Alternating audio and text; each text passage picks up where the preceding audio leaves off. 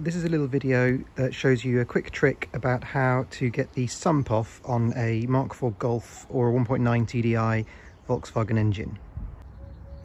So you'll see this is the sump and it's got a lot of bolts all the way around it. There are plenty of videos that show you how to do that.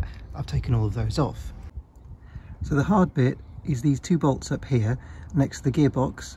Um, because they're slightly offset, there's a bit of the flywheel in the way and you can't get a uh, socket in properly to do them.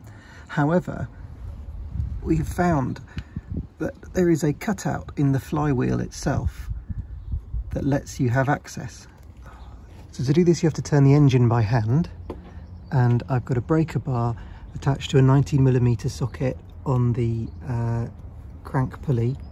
Um, in order to get full straight on access to that, um, just needed to undo that well I had to undo remove the plastic cover thing here and then there's one bolt up there on this pipe that I've undone and that's enough to move this plastic pipe down to get proper access to that central bolt on the pulley.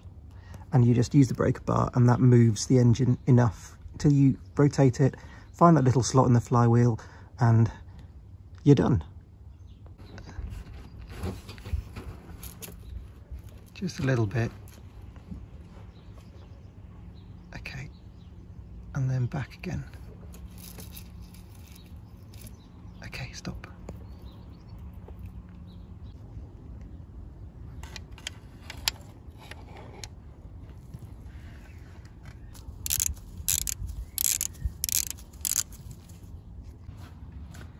Having taken the sump off you can clearly now see where the exact cutout uh, in the flywheel which allows you access to that bolt and then you just as I say move the engine uh, around a little bit until that cutout lines up with each bolt that you need to take out.